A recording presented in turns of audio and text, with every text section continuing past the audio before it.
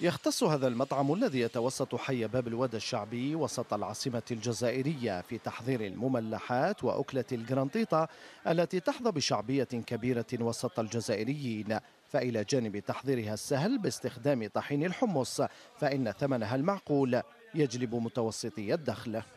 الشعب البسيط لقى فيها هذه البنة وزيد الثمن تاعها اللي رخيص منها. سورتو في الأحياء الشعبية كما هنا في باب الواد في Alger Centre ولا الناس كاع لقات عليها إقبال.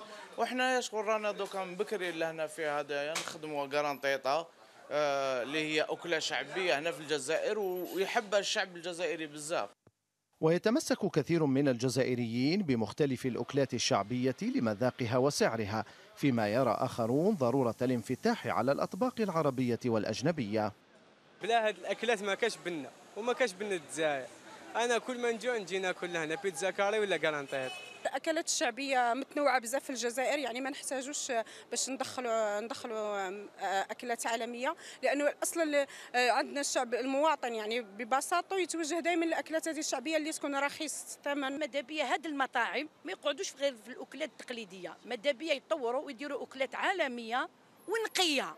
وأمام الإقبال الكبير على محلات الإطعام السريع نظم في الجزائر ولأول مرة صالون الأكل الخفيف والساندويتش الذي يهدف إلى الحفاظ على الأكلات الشعبية وتبادل الخبرات.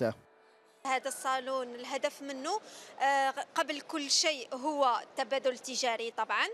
ومن جهة أخرى هو لحماية التراث والأكلات الشعبية الجزائرية الموجودة في la street food algérienne ويطالب كثير من محبي الأكلات التقليدية بالاهتمام أكثر بجانب النظافة والشروط الصحية داخل المحلات وتحسين ظروف الاستقبال.